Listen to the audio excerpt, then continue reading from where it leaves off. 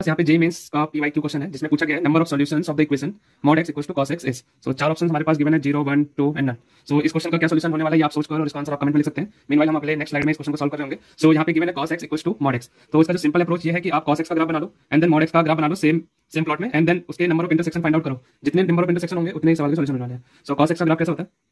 So on graph scale में इसको draw कर रहा हूँ तो कॉस एक्स ग्राफ कुछ इस तरीके से दिखता है। एंड देन उसके बाद मॉड एक्स का जो ग्राफ होता है, वो कैसा दिखेगा? तो मॉड एक्स का ग्राफ कुछ इस तरीके से दिखता है। तो यहाँ पे अगर आप देखें तो नंबर ऑफ़ इंटरसेक्शन कितने जाता है? एक एंड दूसरे यहाँ पे। तो नंबर ऑफ़ इंटरसेक्शन कितने सवाल में? दो राइट एक और दो। तो इसके नंबर ऑफ़ सोल्यूशन कितने जाते हैं? टू राइट और इसी चीज़ को मैंने आगे थोड़ा सही से एक्सप्लेन कर रखा है। तो यहाँ पे देखें तो हमने यहाँ पे कॉस एक्स का ग्राफ बना रखा है टू द स्केल एंड इसके नीचे हमने y cos to mod x का भी ग्राफ बना रखा है। अब अगर मैं इन दोनों ग्राफ को एक ही प्लॉट के अंदर बना दूँ लाइक इस ग्राफ को इसके अंदर ही बना दूँ तो हमें यहाँ पे नंबर ऑफ़ इंटरसेक्शन दिख जाएगा।